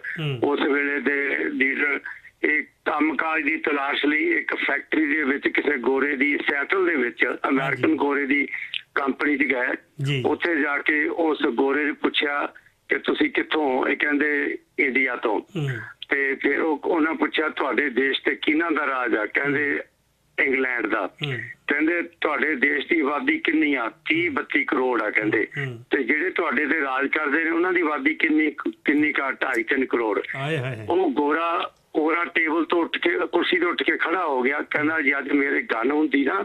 ਮੈਂ ਤੁਹਾਡੇ ਸੀਨੇ 'ਚ ਗੋਲੀ ਮਾਰਦਾ ਤੁਸੀਂ ਸਾਰੀਆਂ ਭੇਡਾਂ ਹੋ। ਤੁਸੀਂ ਪਹਿਲਾਂ ਜਾ ਕੇ ਆਪਣਾ ਦੇਸ਼ ਆਜ਼ਾਦ ਕਰਾਓ। ਤੇ ਮੇਰੇ ਮੇਰੇ ਕੋਲ ਆ ਜਿਓ ਮੁੜ ਕੇ। ਫਿਰ ਮੈਂ ਤੁਹਾਨੂੰ ਨੌਕਰੀ ਦਊਂਗਾ ਜੌਬ ਦਊਂਗਾ। ਕਿਆ ਬਾਤ ਹੈ। ਬਾਬਾ ਹਾਂਜੀ ਮੈਂ ਬਾਬਾ ਸੋਹਣ ਸਿੰਘ ਪਕੜਾਂ ਦੀਆਂ ਕਿਤਾਬਾਂ ਮੇਰੇ ਘਰ ਪਈਆਂ ਪੜੀਆਂ ਉਹ ਕਹਿੰਦੇ ਵੀ ਇਹ ਗੱਲ ਸਾਡੇ ਸੀਨੇ ਨੂੰ ਚੀਰ ਕੇ ਲੰਘ ਗਈ। ਹੂੰ। ਹਾਂਜੀ ਤੇ ਫਿਰ ਅਸੀਂ ਬਾਹਰ ਬੈਠ ਕੇ ਸਲਾਹ ਕੀਤੀ ਵੀ ਕੀ ਕੀਤਾ ਕੀਤਾ ਜਾਵੇ ਕਹਿੰਦੇ ਵੀ ਅਸੀਂ ਦੇਸ਼ ਨੂੰ ਆਜ਼ਾਦ ਕਰਾਂਗੇ। ਫਿਰ ਬਾਬਾ ਜਵਾਲਾ ਸਿੰਘ ਜੀ ਨੇ ਸੈਕਰਾਮੈਂਟੋ ਦੇ ਵਿੱਚ ਫਾਰਮ ਖਰੀਦਿਆ। ਜੀ। ਅਤੇ ਕੈਲੀਫੋਰਨੀਆ ਦੇ ਵਿੱਚ। ਉੱਥੇ ਇਹ ਸਾਰੇ ਬਾਬੇ ਇਕੱਠੇ ਹੁੰਦੇ ਸੀ ਲਾਲਾ ਹਰਦਿਆਲ ਵੀ ਆ ਗਏ ਆਪਣੇ ਤੁਹਾਡੇ ਜਿਹੜੇ ਸੀਗੇ ਸਰਾਭਾ ਸਾਹਿਬ ਕਰਤਾਰ। ਸਿੰਘ ਸਰਾਭਾ ਇਹ ਵੀ ਆ ਗਏ। ਤੇ ਇਤੋਂ ਫਿਰ ਮੂਵਮੈਂਟ ਚੱਲਦੀ ਰਹੀ। ਦੂਜੀ ਗੱਲ ਕਰਨ ਲੱਗਿਆ ਮੈਂ ਦੇਖੋ ਇਹਨਾਂ ਮਹਾਨ ਸ਼ਹੀਦਾਂ ਦੀ। ਦੇਖੋ ਕਿੰਨੀ ਕੁਰਬਾਨੀ ਸੀ ਆਜ਼ਾਦੀ ਤੋਂ ਬਾਅਦ। ਜਦੋਂ ਮੈਂ ਸ਼ਾਰਟਕਟ ਦੇ ਵਿੱਚ ਗੱਲ ਕਰਨੀ ਆ ਕਿਉਂਕਿ ਬਹੁਤ ਬੰਦੇ ਵੇਟ ਕਰ ਰਹੇ ਨੇ। ਜਦੋਂ ਪੰਜਾਬ ਦਾ ਮੁੱਖ ਮੰਤਰੀ ਬਣਿਆ ਸਰਦਾਰ ਪ੍ਰਤਾਪ ਸਿੰਘ ਕਹਿਰੋ ਸਰਦਾਰ ਪ੍ਰਤਾਪ ਸਿੰਘ ਕਹਿਰੋ ਇਹਨਾਂ ਦੇ ਪਿੰਡ ਗਿਆ। ਤਰਨਤਾਰਨ ਦੇ ਕੋਲ ਇਹਨਾਂ ਦਾ ਪਿੰਡ ਆ। ਅੱਛਾ ਜੀ। ਤੇ ਉੱਥੇ ਕਿਉਂਕਿ ਮਾਝੇ ਦੇ ਸੀ ਤੁਹਾਨੂੰ ਪਤਾ ਵੀ ਮਾਝੇ ਦੇ ਬੜੇ ਬਹਾਦਰ ਸੂਰਮੇ ਹੋਏ ਆ। ਜੀ। ਤੇ ਉੱਥੇ ਗਿਆ ਤੇ ਇਹ ਸਰਦੀਆਂ ਦੇ ਦਿਨ ਸੀ ਧੁੱਪੇ ਰਾਤ ਉੱਥੇ ਬੈਠੇ ਨੇ ਮੰਜੇ ਤੇ ਪਏ ਸੀ। ਤੇ ਕੈਰੋ ਕਹਿੰਦਾ ਜੀ ਬਾਬਾ ਜੀ ਤੁਹਾਨੂੰ ਪੈਨਸ਼ਨ ਲਾਉਣੀ ਆ। ਹੂੰ। ਇਹ ਉੱਠ ਕੇ ਬੈਠ ਕੇ ਕਹੋ ਕੈਰੋ। ਤੈਨੂੰ ਕਹਿੰਦੇ ਇੱਥੇ ਮੈਂ ਉਹ ਲਫ਼ਜ਼ ਨਹੀਂ ਬੋਲ ਸਕਦਾ ਜਿਹੜਾ ਆਪਣੇ। ਪੰਜਾਬੀ ਕਹਿੰਦੇ ਤੂੰ ਤੈਨੂੰ ਇੱਥੇ ਕੌਣ ਲੈ ਕੇ ਆਇਆ? ਹੂੰ। ਹਾਂਜੀ। ਜਦ ਦਫਾ ਹੋ ਜਾ ਕਹਿੰਦਾ ਜਾ ਕੇ ਪਹਿਲਾਂ ਜਿਹੜੇ ਦੋ ਵਕਤ ਦੀ ਰੋਟੀ ਹਿੰਦੁਸਤਾਨ ਦੇ ਕਰੋੜਾਂ ਲੋਕਾਂ ਨੂੰ ਨਹੀਂ ਮਿਲਦੀ ਉਹਨਾਂ ਨੂੰ ਜਾ ਕੇ ਰੋਟੀ ਦੇ ਵਡਾਇਆ ਮੈਨੂੰ ਪੈਨਸ਼ਨ ਲਾਉਣ ਵਾਲਾ। ਮੁੜ ਕੇ ਕਹਿੰਦਾ ਮੇਰੇ ਘਰ ਨਾਲ ਹੀ ਅੱਜ ਦੇਖੋ ਪ੍ਰਕਾਸ਼ ਸਿੰਘ ਬਾਦਲ ਨੌ ਪੈਨਸ਼ਨਾਂ ਲਵਾਈ ਫਿਰਦਾ। ਹਾਂਜੀ ਹਾਂਜੀ। ਹਾਂਜੀ ਇਹਨਾਂ ਨੇ ਪੈਨਸ਼ਨ ਨਹੀਂ ਸੀ ਲਵਾਈ। ਜਿਨ੍ਹਾਂ ਨੇ ਆਜ਼ਾਦੀ ਲਈ ਨਾ ਆਪਣੀ ਹਿੱਕ ਦੇ ਉੱਤੇ ਗੋਲੀਆਂ ਖਾ ਖਾ ਕੇ ਉਹਨਾਂ ਨੂੰ ਪਤਾ ਆਜ਼ਾਦੀ ਇਹਨਾਂ ਲੋਕਾਂ ਨੂੰ ਕੀ ਪਤਾ? ਬਿਲਕੁਲ ਜਿਹੜੇ। ਅੱਜ ਦੇ ਲੀਡਰ ਨੇ। ਸੋ ਮੈਂ ਤੁਹਾਡਾ ਬਹੁਤ ਬਹੁਤ। ਧੰਨਵਾਦ ਕਰਦਾ ਤੇ ਸ਼ਰ- ਸ਼ਰਧਾਂਜਲੀ ਪੇਸ਼ ਕਰਦਾ ਬਾਬਾ ਸੋਹਣ ਸਿੰਘ ਭਕਨਾ ਨੂੰ ਜਨਮ। ਦਿਨ ਦੀਆਂ ਵਧਾਈਆਂ ਦਿੰਨੇ ਜੀ ਇਹਨਾਂ ਨੂੰ। ਹਾਂ ਉਹ ਬਧਾਈਆਂ ਵੀ ਚਲੋ ਮੈਂ ਬਧਾਈਆਂ ਦੇ ਰਿਹਾ। ਮਿਹਰਬਾਨੀ ਜੀ। ਜਾਣਕਾਰੀ ਤੁਸੀਂ ਬਹੁਤ- ਵਧੀਆ ਸਾਂਝੀ ਕੀਤੀ। ਤੁਹਾਡਾ ਬਹੁਤ ਧੰਨਵਾਦ ਕਰਦੇ ਜੀ। ਬਹੁਤ ਵਧੀਆ ਜਾਣਕਾਰੀ ਜਿਹੜੀ ਧੀਰ ਸਾਹਿਬ ਨੇ ਸਾਂਝੀ ਕੀਤੀ ਹੈਗੀ ਆ। ਇੱਕ ਦੀ ਕਾਲ ਹੋਰ ਲੈ ਕੇ ਬ੍ਰੇਕ ਲੈ ਲੈਂਦੇ। ਹੈਲੋ ਹੈਲੋ ਸਤਿ ਸ਼੍ਰੀ ਅਕਾਲ ਜੱਗੀ। ਜੀ ਸਤਿ ਸ਼੍ਰੀ ਅਕਾਲ ਜੀ ਸਤਿ ਸ਼੍ਰੀ ਅਕਾਲ। ਹਾਂਜੀ ਮੈਂ ਤੁਹਾਨੂੰ ਦੱਸਣਾ ਮੰਗਦੀ ਸੀ ਜਿਹੜੀ ਪ੍ਰੈਸ ਗਈ ਟੀਵੀ ਦੀ ਆਵਾਜ਼ ਘੱਟ ਕਰਿਓ ਭੈਣ ਜੀ ਟੀਵੀ ਦੀ ਆਵਾਜ਼ ਘੱਟ ਕਰਿਓ। ਹਾਂਜੀ। ਹੈਲੋ? ਟੀਵੀ ਦੀ ਆਵਾਜ਼ ਘੱਟ ਕਰਿਓ ਪਹਿਲਾਂ ਕਿਰਪਾ ਕਰਕੇ। ਹਾਂਜੀ ਓਕੇ ਤਾਂ ਮੈਂ ਜੀ। ਤੁਹਾਨੂੰ ਦੱਸਦੀ ਆ ਨਾ ਜਿਹੜੀ ਉਹ ਪ੍ਰੈਸ ਸੀਗੀ ਹੂੰ। ਇਹ ਪਹਿਲਾਂ ਇਹ ਬਰਕਲੇ ਸੀਗੀ। ਹਾਂਜੀ ਅੱਛਾ ਜੀ। ਉਹ ਕੈਨੇਡਾ ਚੱਕਣ ਆ ਗਏ ਇਹਨੂੰ। ਅੱਛਾ। ਉਹ ਚੱਕਣ ਆ ਗਏ ਤਾਂ ਮੇਰੇ ਹਸਬੰਦ ਜੀ ਦਾ ਗੁਰਦੁਆਰੇ ਤੋਂ ਕਮੇਟੀ ਦੇ ਪ੍ਰਧਾਨ ਸੀਗਾ। ਅੱਛਾ ਜੀ। ਤਾਂ ਇਹ ਨਹੀਂ ਉਹਨਾਂ ਨੇ ਕਮੇਟੀ ਵਾਲਿਆਂ ਨੇ ਸਲਾਹ ਕੀਤੀ ਹੈ, ਕਹਿੰਦੇ ਤਾਂ ਆਪਾਂ ਕੈਨੇਡਾ ਕਿਉਂ ਭੇਜ ਗਏ? ਹੂੰ। ਤੇ ਸਾਡੀ ਇਹ ਪ੍ਰਾਪਰਟੀ ਆ ਤਾਂ ਅਸੀਂ ਆਪਣੇ ਇੱਥੇ ਗੁਰਦੁਆਰੇ ਕਿਉਂ ਨਾ ਰੱਖੀਏ? ਹੂੰ ਹੂੰ ਹੂੰ। ਤਾਂ ਉਹ ਜਿਹੜੇ ਘਰ ਗਏ ਨਾ ਰਾਤ ਨੂੰ ਚੱਕਣ। ਅੱਛਾ ਜੀ। ਤਾਂ ਬੰਦਾ ਇਹਨਾਂ ਹੁਣ ਮੈਂ ਬੇਟੀ ਵੀ ਤੇ ਕਹਿਣਾ ਨਹੀਂ ਮੰਗਦੀ ਉਹਨੇ ਜਿਹੜੇ ਪ੍ਰੈਸ ਦੇ ਬੀਲ ਸੀ ਕੋੜੇ ਨਾਲ ਭੰਨ ਦਿੱਤੇ। ਅੱਛਾ। ਤਾਂ ਉਹ ਫਿਰ ਜਿੱਦਣ ਦੂਜੇ ਦਿਨ ਚੱਕਣ ਗਏ। ਹੂੰ। ਤਾਂ ਉਹਨੂੰ ਜੈਲਸੀ ਹੋ ਗਈ ਹਾਂ ਤੇ ਜਿਹੜੇ ਸਿੰਘ ਚੱਕਣ ਕਿਉਂ ਆਏ ਆ? ਹੂੰ ਹੂੰ। ਤਾਂ ਤੇ ਜਿਹੜਾ ਘਰ ਰਹਿੰਦਾ ਸੀ ਉਹ ਬੰਦਾ ਪ੍ਰੈਸ ਜਿਹਦੇ ਘਰ ਸੀ ਨਾ ਉਹਦੇ ਬਾਬਾ ਸੀਗਾ। ਹੂੰ। ਈਸ਼ਵਰ ਸਿੰਘ ਸੀ ਉਹਦਾ ਨਾਮ ਉਹਦੇ। ਬਾਲ ਬੱਚਾ ਨਹੀਂ ਕੋਈ ਵੀ ਅੱਛਾ ਜੀ। ਤਾਂ ਉਹ ਘਰ ਉਹ ਕਿਸੇ ਨੂੰ ਲੈ ਆਇਆ ਸੀਗਾ। ਹੂੰ। ਤਾਂ ਉਹ ਜਿਹਦਾ ਪ੍ਰੈਸ ਉਹਦੇ ਘਰ ਸੀਗੀ। ਅੱਛਾ ਜੀ ਤਾਂ ਅੱਛਾ। ਤਾਂ ਇੱਥੇ ਤਾਂ ਪਤਾ ਨਹੀਂ ਪ੍ਰੈਸ ਹੈਗੀ ਕਿ ਨਹੀਂ ਉਹ ਕੈਨੇਡਾ ਵਾਲਿਆਂ ਨੂੰ ਬੰਦਿਆਂ ਨੂੰ ਪਤਾ ਸੀਗਾ ਹੂੰ। ਉਹ ਚੱਕਣ ਆ ਗਏ ਪੰਜ ਛੇ ਜਣੇ। ਹੂੰ। ਤਾਂ ਉਹ ਰਾਤ ਸਾਡੇ ਘਰ ਰਹੇ। ਤਾਂ ਸਵੇਰ ਨੂੰ ਫਿਰ ਇਹਨਾਂ ਨੇ ਕਮੇਟੀ ਵਾਲਿਆਂ ਨੇ ਸਲਾਹ ਕੀਤੀ ਤੇ ਕਹਿੰਦੇ ਸਾਡੀ ਪ੍ਰਾਪਰਟੀ ਹੈ ਤੇ ਅਸੀਂ ਨਹੀਂ। ਕੈਨੇਡਾ ਜਾਣ ਦੇਣੀ ਅਸੀਂ ਇੱਥੇ ਰੱਖਣੀ ਇਹ ਕਿਹੜੇ ਸੰਨ ਦੀ ਗੱਲ ਹੋਏਗੀ ਜੀ? ਇਹ 40 ਸਾਲ ਹੋ ਗਏ ਇਸ ਗੱਲ ਨੂੰ ਤੁਸੀਂ। ਬਹੁਤ ਕਾਫੀ। ਦੇਰ ਪੁਰਾਣੀ ਗੱਲ ਹੋ ਮੇਰੇ ਖਿਆਲ ਇਹ 80 80 ਦੀ ਗੱਲ 80 ਦੀ ਗੱਲ ਜੀ। ਠੀਕ ਹੈ ਫਿਰ? 80 82 ਦੀ ਗੱਲ ਹੈ ਉਹ ਹਾਂਜੀ ਫਿਰ? ਫਿਰ ਪ੍ਰੈਸ ਚੁੱਕ ਲਿਆਂਦੀ ਇਹਨੂੰ ਚੁੱਕ ਕੇ ਫਿਰ ਉੱਥੇ ਸਟੱਕ ਗੁਰਦੁਆਰਾ ਟੋਕਨ ਰੱਖ ਜਾਂਦੀ ਰੱਖੀ ਚਲੋ ਜੀ ਬਹੁਤ ਵਧੀਆ। ਜਾਣਕਾਰੀ। ਹਾਂ ਤਾਂ ਉਹ ਮੈਨੂੰ ਵੀ ਤਾਂ ਚੇਤਾ ਕਹਿੰਦਾ ਹੁਣ ਜੱਗੀ ਨੂੰ ਦੱਸਦੀ ਆ ਥੋੜਾ ਜਿਹਾ ਨਹੀਂ। ਇਤਿਹਾਸ ਤਾਂ ਮੈਨੂੰ ਵੀ ਪਤਾ ਆ ਤਾਂ ਚੱਲ ਮੈਂ ਦੱਸਦੀ ਆ ਬਹੁਤ ਵਧੀਆ ਬਹੁਤ ਵਧੀਆ ਕੀਤਾ ਜੀ ਬਹੁਤ ਵਧੀਆ ਸਾਡੇ ਦਰਸ਼ਕ ਬਹੁਤ ਖੁਸ਼ ਹੁੰਦੇ ਨੇ ਜਦੋਂ ਇਹੋ ਜਿਹੀਆਂ ਗੱਲਾਂ ਉਹਨਾਂ ਨੂੰ ਪਤਾ ਲੱਗਦੀਆਂ ਨੇ। ਹਾਂਜੀ। ਤਾਂ ਉਹਦਾ ਤੇ ਉਹ ਚ ਉਹਦਾ 8 10 ਦਿਨ ਚੱਕਣ ਆ ਗਿਆ ਕੈਨੇਡਾ ਤੋਂ। ਕਹਿੰਦੇ ਸੀ ਉੱਥੇ ਲੈ ਕੇ ਜਾਣੀ ਆ, ਵੱਡੀ ਬੈਨ ਲੈ ਕੇ ਆਏ। ਜੀ ਤਾਂ ਚਲੋ। ਇਹ ਕਹਿੰਦੇ ਸੀ ਸਵੇਰ ਨੂੰ ਤੁਹਾਨੂੰ ਸਲਾਹ ਕਰਕੇ ਦੱਸਾਂਗੇ। ਜੀ ਜੀ ਜੀ ਤਾਂ ਚਲੋ। ਇਹਨੀ ਫਿਰ ਆਪ ਨੂੰ ਕਮੇਟੀ ਨਾਲ ਸਲਾਹ ਕੀਤੀ। ਉਹ ਕਹਿੰਦੇ ਨਹੀਂ ਕਿ ਸਾਡੀ ਪ੍ਰਾਪਰਟੀ ਅਸੀਂ ਕੈਨੇਡਾ ਨਹੀਂ ਜਾਣ ਦਿੰਦੇ ਅਸੀਂ ਆਪਣੇ ਇੱਥੇ ਸਟਾਕਟਨ ਗੁਰਦੁਆਰਾ ਰੱਖਣੀ ਆ ਚਲੋ ਥੈਂਕ ਯੂ ਜੀ ਥੈਂਕ ਯੂ ਤੁਹਾਡਾ ਬਹੁਤ। ਬਹੁਤ। ਧੰਨਵਾਦ ਬਹੁਤ ਧੰਨਵਾਦ ਜੀ ਬਹੁਤ ਵਧੀਆ ਗੱਲਾਂ ਬਾਤਾਂ ਚੱਲ ਰਹੀਆਂ ਵਿਸ਼ਾ ਮੈਨੂੰ ਇਹ ਲੱਗਿਆ ਸੀਗਾ ਵੀ ਸ਼ਾਇਦ ਸਾਡੇ ਦਰਸ਼ਕਾਂ ਨੂੰ ਬੜੀ ਦਿਲਚਸਪੀ ਨਾ ਹੋਵੇ ਪਰ ਇਹੋ ਜਿਹੇ ਵਿਸ਼ਿਆਂ ਦੇ ਵਿੱਚ ਅਸੀਂ ਖਾਸ ਤੌਰ ਤੇ ਕੈਲੀਫੋਰਨੀਆ ਦੀ ਗੱਲ ਕਰੀਏ ਤਾਂ ਬਹੁਤ ਸਾਰੇ ਲੋਕ ਕਈ ਚੀਜ਼ ਤੋਂ ਚੱਪੇ ਚੱਪੇ ਤੋਂ ਵਾਕਫ ਨੇ ਇੱਥੇ ਕੀ ਹੋਇਆ ਸੀ ਕਦੋਂ ਕੀ ਹੋਇਆ ਸੀ ਸੋ ਉਮੀਦ ਕਰਦੇ ਹਾਂ ਬ੍ਰੇਕ ਤੋਂ ਬਾਅਦ ਵੀ ਇਸੇ ਤਰ੍ਹਾਂ ਗੱਲਾਂ ਬਾਤਾਂ ਸਿਲਸਿਲਾ ਜਾਂ ਜਾਣਕਾਰੀ ਦਾ ਸਿਲਸਿਲਾ ਇਤਿਹਾਸ ਦੀ ਜਾਣਕਾਰੀ ਦਾ ਸਿਲਸਿਲਾ ਜਾਰੀ ਰਹੇਗਾ ਫਿਲਹਾਲ ਬ੍ਰੇਕ ਦੇਖਦੇ ਰਹੋ ਜਸ ਪੰਜਾਬੀ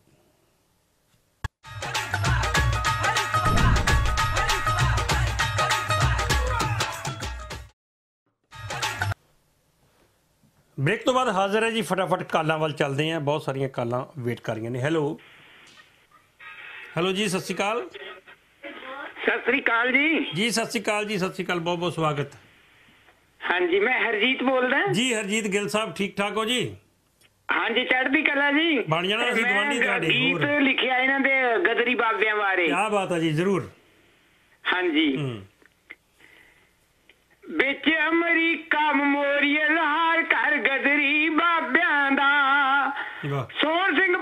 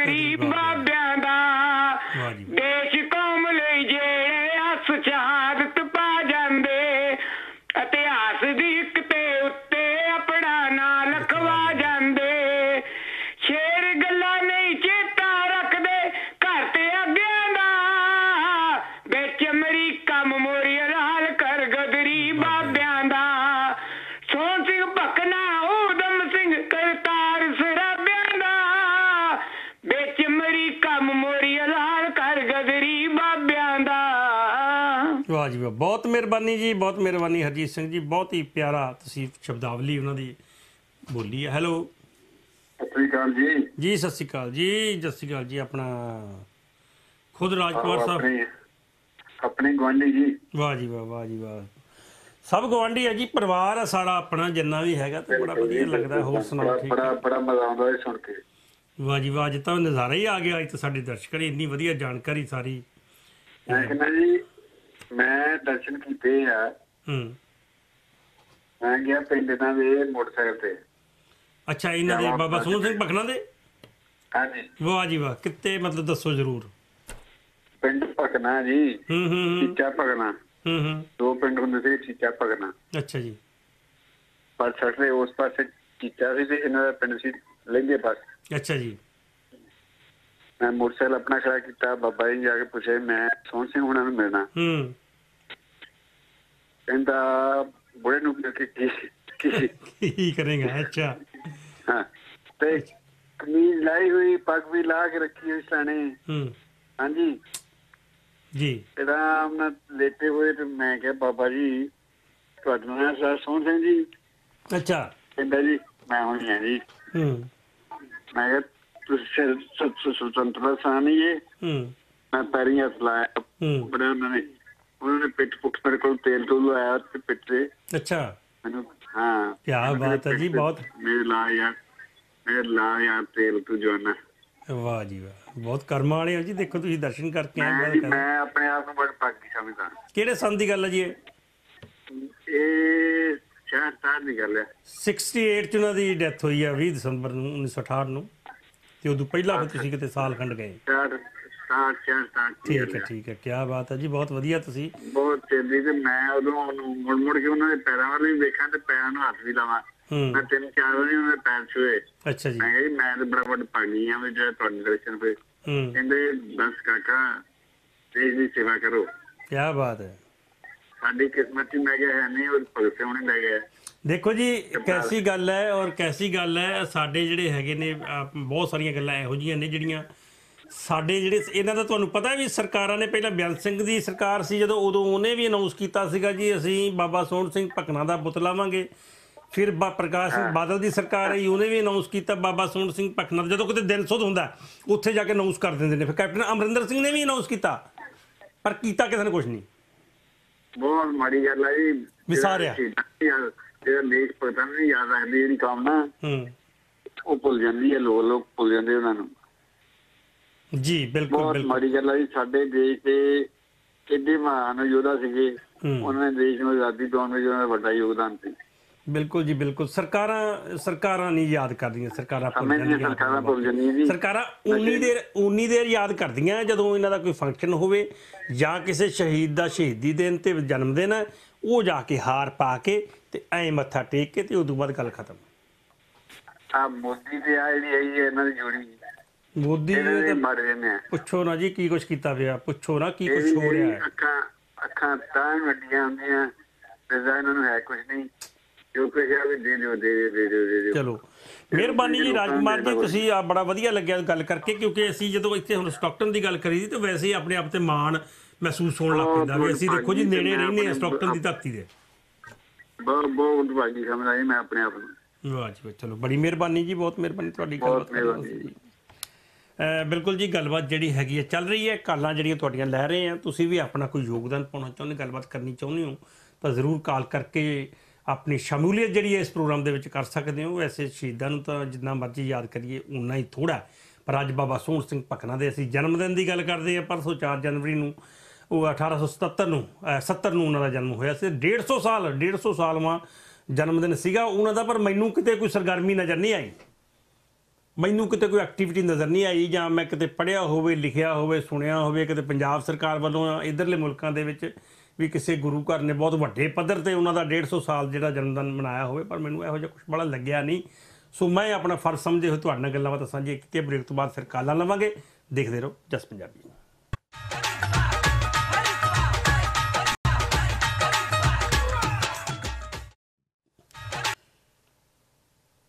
ਬ੍ਰੇਕ ਤੋਂ ਬਾਅਦ ਹਾਜ਼ਰ ਹੈ ਜੀ ਤੇ ਗੱਲਬਾਤ ਅੱਜ ਜਿਹੜੀ ਹੋਈ ਹੈ ਬਾਬਾ ਸੋਹਣ ਸਿੰਘ ਭਕਨਾ ਜੀ ਬਾਰੇ। ਗਦਰੀ ਬਾਬਿਆਂ ਦੀ ਗੱਲ ਕੀਤੀ ਹੈ। ਗਦਰੀ ਬਾਬੇ ਜਿਹੜੇ ਹੈਗੇ ਨੇ, ਨਾਮ ਗਦਰੀ ਬਾਬੇ। ਗਦਰ ਤੋਂ ਸਿੱਧਾ ਸਿੱਧਾ ਭਾਵ ਨਿਕਲਦਾ ਬਗਾਵਤ। ਉਹ ਬਾਬੇ ਜਿਨ੍ਹਾਂ ਨੇ ਅੰਗਰੇਜ਼ਾਂ ਦੇ ਖਿਲਾਫ ਬਗਾਵਤ ਕੀਤੀ ਔਰ ਅੜੇ ਰਹੇ, ਖੜੇ ਰਹੇ। ਔਰ ਉਹਨਾਂ ਨੂੰ ਅਸੀਂ ਸਮਝ ਲੈਂਦੇ ਹਾਂ, ਜੋ ਗਦਰੀ ਬਾਬੇ ਕਹਿੰਦੇ ਆ ਵੀ ਹੋ ਸਕਦਾ ਸਾਰੇ ਉਮਰ ਦੇ ਵਿੱਚ ਜਿਹੜੇ ਵੱਡੇ ਹੋਣਗੇ, ਇਸ ਕਰਕੇ ਬਾਬੇ ਕਹਿੰਦੇ ਬਾਬੇ ਉਮਰ ਕਰਕੇ ਨਹੀਂ ਸੀ ਕਹਿੰਦੇ ਉਹਨਾਂ ਦੇ ਵਿੱਚ ਬਹੁਤ ਛੋਟੀ ਉਮਰ ਦੇ ਵੀ ਸੀਗੇ ਜਿਵੇਂ ਅਸੀਂ ਗੱਲ ਕਰੀਏ ਕਰਤਾਰ ਸਿੰਘ ਸਰਾਭੇ ਦੀ ਗੱਲ ਕਰੀਏ 17 ਸਾਲ ਦੀ ਉਮਰ ਦੇ ਵਿੱਚ ਤਾਂ ਫਾਂਸੀ ਹੋ ਗਈ ਸੀ ਉਹਨਾਂ ਨੂੰ। ਤਾਂ ਉਹੋ ਜਿਹੇ ਉਹਨਾਂ ਨੂੰ ਵੀ ਬਾਬੇ ਹੀ ਕਹਿੰਦੇ ਸੀ ਕਿਉਂਕਿ ਗਦਰੀ ਬਾਬਿਆਂ ਦਾ ਮਤਲਬ ਇਹ ਸੀ ਵੀ ਜਿਨ੍ਹਾਂ ਨੇ ਅੰਗਰੇਜ਼ਾਂ ਦੇ ਨਾਲ ਆਡਾ ਲਿਆ। ਹੈਲੋ। ਹੈਲੋ ਜੀ ਸਤਿ ਸ਼੍ਰੀ ਅਕਾਲ। ਸਤਿ ਸ੍ਰੀ ਅਕਾਲ ਜੀ ਸਤਿ ਸ੍ਰੀ ਅਕਾਲ ਜਗਜੀਤ ਜੀ। ਜ- ਜਗਤਾਰ ਜੱਗੀ ਜੀ ਮੈਂ। ਜਗਤਾਰ ਸਿੰਘ ਜੱਗੀ ਹਾਂ ਇਹ ਜਗਦਾਰ ਹਾਂਜੀ ਹਾਂਜੀ। ਕੌਣ ਸਾਹਿਬ ਬੋਲ ਰਹੇ ਜੀ? ਹਾਂਜੀ। ਮੈਂ ਅਮਰ ਸਿੰਘ ਤੋਂ ਬੋਲ ਰਿਹਾ ਇੱਥੋਂ ਡੈਲਾਵੇਅਰ ਤੋਂ। ਜੀ ਜੀ ਅਮਰ ਸਿੰਘ ਜੀ ਕੀ ਕਹਿਣਾ ਚਾਹੁੰਦੇ ਹੋ ਜੀ? ਹਾਂਜੀ। ਜੀ। ਹਾਂਜੀ। ਬੜੀ ਪ੍ਰਮਾਤਮਾ ਦੀ ਸਾਡੀ ਖੁਸ਼ ਕਿਸਮਤੀ ਹੋਈ।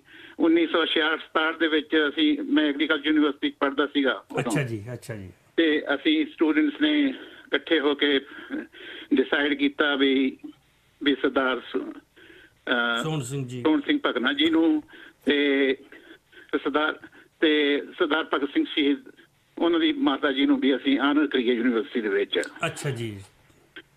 ਤੇ ਤਿੰਨ ਸਟੂਡੈਂਟ ਮੇਰੇ ਨਾਲ ਦੇ ਉਹ ਗਏ ਖਟਕਲ ਕਲਾਂ ਨੂੰ। ਜੀ। ਤੇ ਸਰਦਾਰ ਭਗਤ ਸਿੰਘ ਜੀ ਦੀ ਮਦਦ ਨੂੰ ਲੈਣ। ਜੀ। ਤੇ ਮੈਂ ਤੇ ਮੈਂ ਤੇ ਮੇਰਾ ਫਰੈਂਡ ਉਹ ਹੁਣ ਕਨੈਕਟੀਕਟ ਦੇ ਵਿੱਚ ਰਹਿੰਦਾ ਹੈ ਬਲਵੰਤ ਸਿੰਘ। ਜੀ। ਅਸੀਂ ਦੋਨੋਂ ਅਮ- ਅੰਮ੍ਰਿਤਸਰ ਨੂੰ ਗਏ ਜੀ। ਪਿੰਡ ਦੇ ਵਿੱਚ ਤੇ ਅਸੀਂ ਬਾਬਾ ਸੋਹਣ ਸਿੰਘ ਭਗਨਾ ਜੀ। ਨੂੰ। ਅਸੀਂ ਜਦੋਂ ਉਹਨਾਂ ਉਹਨਾਂ ਦਾ ਕੱਚਾ ਜਿਹਾ ਘਰ ਸੀਗਾ। ਅੱਛਾ ਜੀ। ਤੇ ਕੱਚਾ ਹੀ ਘਰ ਸੀਗਾ। ਤੇ ਬੜਾ ਦਿਲ ਨੂੰ ਦੁੱਖ ਹੋਇਆ। ਦਿਲ ਨੂੰ ਦੁਖੀ ਹੋਇਆ ਵੀ ਤੇ ਉਸ ਵੇਲੇ ਸਾਨੂੰ ਇਹ ਵੀ ਪਤਾ ਲੱਗਿਆ ਕਿ ਅਸੀਂ ਉੱਥੋਂ ਕਾਰ ਰੈਂਟ ਕੀਤੀ ਸੀ ਪਹਿਲਾਂ। ਅੱਛਾ ਜੀ। ਤੇ ਉਹਨਾਂ ਨੂੰ ਫਿਰ ਅਸੀਂ ਲੁਧਿਆਣਾ ਯੂਨੀਵਰਸਿਟੀ ਵਿੱਚ ਮੈਂ ਤੇ ਬਲਵੰਤ ਉਹਨਾਂ ਦੇ ਨਾਲ ਕਾਰ ਦੇ ਵਿੱਚ ਉਹਨਾਂ ਨੂੰ ਲੈ ਕੇ ਆਏ। ਜੀ। ਤੇ ਯੂਨੀਵਰਸਿਟੀ ਦੇ ਵਿੱਚ ਉਹਨਾਂ ਨੂੰ ਫਿਰ ਸਨਮਾਨਿਤ ਕੀਤਾ। ਤੇ ਫਿਰ ਫਿਰ ਅਸੀਂ ਦੇਖਿਆ ਵੀ ਉਸ ਤੋਂ ਪਹਿਲਾਂ ਵੀ ਪੰਜਾਬ ਦੀ ਕਿਸੇ ਗਵਰਨਮੈਂਟ ਨੇ ਉਹਨਾਂ ਨੂੰ ਆਨਰ ਨਹੀਂ ਸੀ ਕੀਤਾ ਜੀ ਜੀ ਬਿਲਕੁਲ। ਗਵਰਨਮੈਂਟਾਂ ਤਾਂ ਦੇਖੋ ਜੀ। ਗਵਰਨਮੈਂਟਾਂ ਤਾਂ ਬੇਸ਼ੱਕ ਹਾਂਜੀ ਪ੍ਰਤਾਪ ਸਿੰਘ ਕੈਰੋਂ ਦਾ ਨਾ ਪ੍ਰਤਾਪ ਸਿੰਘ ਕੈਰੋਂ ਕਿਤੇ ਗਿਆ ਸੀਗਾ ਪੈਨਸ਼ਨ ਲਾਉਣ ਵਾਸਤੇ ਦੱਸਿਆ ਜਿਵੇਂ ਧੀਰ ਸਾਹਿਬ ਨੇ ਪਰ ਇਹਨਾਂ ਨੇ ਭਜਾਤਾ ਸੀ ਹਾਂਜੀ ਪਰ ਤੇ ਉਹ ਤੇ ਬਹੁਤ ਚੰਗੇ ਲੀਡਰ ਹੋਏ ਨੇ ਸਾਡੇ ਸਾਡੇ ਕੋਈ ਲੀਡਰ ਹੋਇਆ ਚਲੋ ਉਹ ਤੇ ਅਸੀਂ ਬਾਬਾ ਸੋਹਣ ਸਿੰਘ ਭਕਨਾ ਜੀ ਦੀ ਗੱਲ ਤੇ ਕਰਦੇ ਹਾਂ ਹਾਂਜੀ ਤੇ ਉਹਨਾਂ ਦਾ ਫਿਰ ਸਾਡੀ ਫਿਰ ਕਾਰ ਦੇ ਵਿੱਚ ਮੈਂ ਬਾਬਾ ਜੀ ਨਾਲ ਗੱਲਾਂ ਕੀਤੀਆਂ। ਉਦੋਂ ਉਹਨਾਂ ਨੂੰ ਉਹਨਾਂ ਨੂੰ ਜਾਨੀ ਫਿਰ ਹੈਲਪ ਵੀ ਸਾਨੂੰ ਕਰਨੀ ਪਈ ਬੜੇ ਜਾਨੀ ਖੁਸ਼ਕਿਸਮਤੀ ਸੀ ਵੀ। ਉਹਨਾਂ ਨੂੰ ਅਸੀਂ ਫੜ ਕੇ ਕਾਰ ਦੇ ਵਿੱਚ ਫਸਾਇਆ ਥੋੜਾ ਜਿਹਾ ਉਹਨਾਂ ਦਾ ਸਰੀਰ ਕੁੱਬਾ ਹੋਇਆ ਹੋਇਆ ਹਾਂਜੀ ਸੀਗਾ ਹਾਂਜੀ ਅਖੀਰ ਤੇ ਆਖਰੀ ਹਾਂਜੀ। ਕਾਫੀ ਬਜ਼ੁਰਗ ਹੋ ਗਏ ਸੀ ਹਾਂਜੀ। ਹਾਂਜੀ ਤੇ ਫਿਰ ਸਾਡੀ ਅਸੀਂ ਮੈਨੂੰ ਥੋੜਾ ਜਿਹਾ ਵੀ ਬਜ਼ੁਰਗਾਂ ਨਾਲ ਨੌਲੇਜ ਗੱਲਾਂ ਕਰਕੇ ਵੀ ਥੋੜਾ ਜਿਹਾ ਹਿਸਟਰੀ ਦਾ ਨੌਲੇਜ ਹੋਵੇ। ਕੀ ਬਾਤ ਹੈ। ਤੇ ਉਹਨਾਂ ਨੇ ਨਾਲ ਹੀ ਉਹਨਾਂ ਨੇ ਪ੍ਰਾਈਮ ਮਿਨਿਸਟਰ ਪੰਡਿਤ ਜਵਾਹਰ ਲਾਲ ਨਹਿਰੂ ਬਾਰੇ ਤਾਂ ਉਹਨਾਂ ਨੇ ਪੋਜ਼ਿਟਿਵ ਗੱਲਾਂ ਕੀਤੀਆਂ। ਅੱਛਾ ਜੀ। ਉਹਨਾਂ ਦੇ ਬਾਰੇ ਉਹਨਾਂ ਨੇ ਚੰਗਾ ਕੀਤਾ ਵੀ ਉਹਨਾਂ ਨੇ ਤੇ ਗਾਂਧੀ ਬਾਰੇ ਉਹਨਾਂ ਨੇ ਉਹਨਾਂ ਨੇ ਕਿਹਾ ਵੀ ਉਹਨਾਂ ਦਾ ਜਿਹੜਾ ਐਕਸਪੀਰੀਅੰਸ ਸੀਗਾ ਗਾਂਧੀ ਦੇ ਨਾਲ। ਉਹ ਬੜਾ ਨੇ ਉਹਨਾਂ ਨੇ ਬਹੁਤ ਵੀ ਉਹ ਇਹਨਾਂ ਵੀ ਇਹ ਬੰਦੇ 'ਚ ਕੋਈ ਚੰਗੀ ਗੱਲ ਨਹੀਂ। ਹਾਏ ਹਾਏ। ਹਾਏ ਕੀ ਬਾਤ ਹੈ। ਜੀ। ਹਾਂਜੀ ਉਹ ਉਹ- ਮੇਰੇ ਉਹ ਮੇਰੇ ਦਿਲ ਦੇ ਵਿੱਚ ਹੁਣ ਉਹ ਸਭ ਕੁਝ ਅੱਜ ਕੱਲ ਸਪਸ਼ਟ ਹੋ ਰਿਹਾ ਹੈ। ਹੂੰ। ਹਾਂ ਫਿਰ ਉੱਥੇ ਯੂਨੀਵਰਸਿਟੀ ਦੇ ਵਿੱਚ ਸਾਨੂੰ ਜਾਨੀ ਬਹੁਤ ਖੁਸ਼ਕਿਸਮਤੀ ਹੋਈ ਸਾਡੀ ਵੀ ਜ਼ਿੰਦਗੀ ਦੇ ਵਿੱਚ ਹੁਣ ਮੈਂ। ਵੀ ਕਦੇ ਵੀ ਮੈਂ ਪੜ੍ਹਦਾ ਹੈਗਾ ਵੀ ਮੌਕਾ ਮਿਲਿਆ ਸਾਨੂੰ ਜੀ। ਥੋੜੇ ਜਿਹੇ ਘੰਟੇ ਇਕੱਠੇ ਗੁਜ਼ਾਰਨ ਦਾ। ਜੀ ਸਰਦਾਰ ਸਾਹਿਬ ਮੈਂ ਬੜਾ ਮਾਣ ਮਹਿਸੂਸ ਕਰ ਰਿਹਾ ਤੁਹਾਡੇ ਨਾਲ ਗੱਲ ਕਰਕੇ ਕਿ ਤੁਸੀਂ ਉਹਨਾਂ ਨੂੰ ਮਿਲੇ ਹੋ। ਮੈਨੂੰ ਬੜਾ ਵਧੀਆ ਲੱਗ ਰਿਹਾ ਜੀ ਤੇ ਤੁਸੀਂ ਉਹਨਾਂ ਨੂੰ ਮਿਲੇ ਹੋ ਤਾਂ ਤੁਹਾਨੂੰ ਕਿੰਨਾ ਵਧੀਆ ਲੱਗ ਰਿਹਾ ਹੋਵੇਗਾ। ਹਾਂਜੀ ਉਹ ਤਾਂ ਵੀ ਪਰਮਾ ਜੀ ਵੀ ਜ਼ਿੰਦਗੀ ਦੇ ਵਿੱਚ ਜਿਹੜੀਆਂ ਚੀਜ਼ਾਂ ਹੁੰਦੀਆਂ ਵੀ ਇਹ ਸਭ ਤੋਂ ਵੀ ਇਹ ਸਭ ਤੋਂ ਮੇਰੀ ਜ਼ਿੰਦਗੀ ਦੇ ਵਿੱਚ ਇਹੀ ਸਭ ਤੋਂ ਇੰਪੋਰਟੈਂਟ ਗੱਲ ਹੈ ਬਹੁਤ ਵਧੀਆ ਜੀ ਬਹੁਤ ਮਿਹਰਬਾਨੀ ਤੁਹਾਡੀ ਬਹੁਤ ਮਿਹਰਬਾਨੀ ਬਹੁਤ ਵਧੀਆ ਲੱਗਿਆ ਹੈਲੋ ਹੈਲੋ ਹਾਂਜੀ ਹਾਂਜੀ ਪਰਿਪਿੰਦਰ ਜੀ ਕਿਉਂਦਾ ਵਰਦਾ ਜੀ ਤੇਰੀਆਂ ਲੰਮੀਆਂ ਉਮਰਾਂ ਹੋਣ Thank you ਜੀ। ਇਹ ਤਾਂ ਕਿੰਨਾ ਸਾਨੂੰ ਜਾਣਕਾਰੀ ਮਿਲੀ ਹਾਂ। ਸੋਹਣ ਸਿੰਘ ਭਗਨੇ ਦੀ ਮੈਨੂੰ ਵੀ ਬਹੁਤ, ਮੈਨੂੰ ਵੀ। ਸੋਹਣ ਸਿੰਘ। ਮੇਰਾ ਫੁੱਫੜ ਸੀ ਸੋਹਣ ਅੱਛਾ। ਤੇ ਮੇਰੀ ਭੂਆ ਮਰ ਗਈ ਸੀ ਹੈ ਨਾ ਹੂੰ। ਤੇ ਉਹ ਦੇਖ ਲੈ ਉਹਨੇ ਕੋਈ ਵਿਆਹ ਨਾ ਕਰਾ ਕੁਛ ਨਾ ਕਰਾ ਚਾਰ ਮੁੰਡੇ ਸੀ ਉਹਦੇ ਆਪੇ ਪਾਲੀ। ਤੇ ਮੇਰਾ ਵੀ ਨਾਂ ਤਾਂ ਸੀ ਫੁੱਫੜ ਤੂੰ ਤਾਂ ਸੋਹਣ ਸੋਹਣ ਸਿੰਘ ਭਗਤਾ ਭਗਨਾ ਹੈ? ਹਾਂਜੀ। ਤੇ ਫਿਰ ਦੇਖ ਲੈ ਇੱਕ ਵਾਰ ਤੁਹਾਨੂੰ ਹੋਰ ਦੱਸਦੀ ਆ ਵੀ ਕੱਲਾ ਬਾਬਾ ਸੋਹਣ ਭਗਤ ਭਗਨਾ ਨਹੀਂ। ਤੇ ਤੇਰਾ ਆਪਣਾ ਜਿਹੜਾ ਸੀਗਾ ਸਰਾਬਾ ਹੈ? ਜੀ, ਬਹੁਤ ਨਾਲ ਉਹਨਾਂ ਦੀ team ਸੀ ਪੂਰੀ, team ਸੀ ਤੇ। ਫਿਰ ਸਾਡੇ ਸਾਡੇ ਗੁਰੂ ਗੋਬਿੰਦ ਸਿੰਘ ਜੀ ਮਾਤਾ ਗੁਜਰੀ ਜੀ ਜੀ? ਜੀ ਜੀ ਜੀ ਚਲੋ। ਤੇ ਹੁਣ ਮੈਂ ਤੁਹਾਨੂੰ ਇਹ ਸਾਲ ਨਵੇਂ ਸਾਲ ਦੀਆਂ ਵਧਾਈਆਂ ਦੇ ਦਿੰਦਾ। ਨਵਾਂ ਸਾਲ ਤਾਂ ਚੜ ਗਿਆ। ਬਹੁਤ ਬਹੁਤ ਬਸ। ਸਰਕਾਰਾਂ ਨੇ ਨਹੀਂ ਬਦਲਣਾ ਹੈਨਾ? ਬਹੁਤ ਬਹੁਤ ਵਧਾਈਆਂ ਜੀ ਬਹੁਤ ਬਹੁਤ ਵਧਾਈਆਂ ਬਹੁਤ ਬਹੁਤ ਵਧਾਈਆਂ। ਪਰ ਮੈਨੂੰ ਸਮਝ ਨਹੀਂ ਲੱਗੀ ਵੀ ਕਿਹੜੀ ਗੱਲ ਤੁਸੀਂ ਕਹਿਣੀ ਚਾਹੁੰਦੇ ਸੀ ਕਿਹੜੀ ਨਹੀਂ ਕਹਿਣੀ ਚਾਹੁੰਦੇ ਸੀ। ਸਾਰੀਆਂ ਗੱਲਾਂ ਇਕੱਠੀਆਂ ਕਹਿੰਦੇ ਚਲੋ ਕੋਈ ਗੱਲ ਨਹੀਂ ਜੀ ਸਾਡੇ ਦਰਸ਼ਕ ਜਿੰਨੇ ਵੀ ਹੈਗੇ ਪਿਆਰ ਕਰਦੇ ਹੋ ਬਹੁਤ ਸਿਰ ਮੱਥੇ ਸਭ ਦਾ ਬਹੁਤ ਬਹੁਤ ਜਿਹੜਾ ਧੰਨਵਾਦ ਅਸੀਂ ਕਰਦੇ ਹਾਂ, ਬਹੁਤ ਤੁਸੀਂ ਪਿਆਰ ਕਰਦੇ ਹੋ ਜਸ ਪੰਜਾਬੀ ਨੂੰ ਵੀ, ਤੇਰੇ ਪ੍ਰੋਗਰਾਮ ਨੂੰ ਵੀ, ਸਾਰੇ ਪ੍ਰੋਗਰਾਮਾਂ ਨੂੰ। ਤੇ ਗੱਲਬਾਤ, ਕਿਉਂਕਿ ਕੋਈ ਐਸੀ ਗੱਲ ਨਹੀਂ ਹੁੰਦੀ, ਬਹੁਤ ਸਿਆਣੇ ਨੇ ਸਾਰੇ, ਫਿਰ ਵੀ ਵਧੀਆ ਗੱਲਾਂ ਕਰਦੇ ਨੇ। ਤੁਸੀਂ ਸਭ ਤੋਂ ਵੱਡੀ ਗੱਲ ਤਾਂ ਇਹ ਹੈ ਕਿ ਸਾਡੇ ਕਾਲਰਾਂ ਨੂੰ, ਜੇ ਤੋਂ ਅਸੀਂ ਜਾਈਦਾ ਕਿਤੇ ਬਾਹਰ ਤਾਂ ਸਾਡੇ ਦਰਸ਼ਕ ਜਿਹੜੇ ਮਿਲਦੇ ਆ ਉੱਥੇ, ਉਹ ਯਾਦ ਕਰਦੇ ਨੇ ਬਾਈ ਨੇਮ ਪੁੱਛਦੇ ਨੇ ਵੀ ਫਲਾਨਾ ਕਾਲਰ ਕਿੱਥੇ ਤੇ ਫਲਾਨਾ ਕਾਲਰ ਕਿੱਥੇ। ਹੁਣ ਫਿਕਰ ਨਾ ਕਰੋ ਜੀ, ਕੈਲੀਫੋਰਨੀਆ ਵਾਲੇ ਜਿਹੜੇ ਅਸੀਂ ਹੌਲੀ ਹੌਲੀ ਸਟੂਡੀਓ 'ਚ ਬੁਲਾ ਕੇ ਤੇ ਉੱਥੇ ਗੱਲਬਾਤ ਕਰਨੀ ਸ਼ੁਰੂ ਕਰ ਦੇਣੀ ਹੈ। ਫਿਲਹਾਲ ਬ੍ਰੇਕ ਲੈਂਦੇ ਆ ਦੇਖਦੇ ਰਹੋ ਜਸ ਪੰਜਾਬੀ।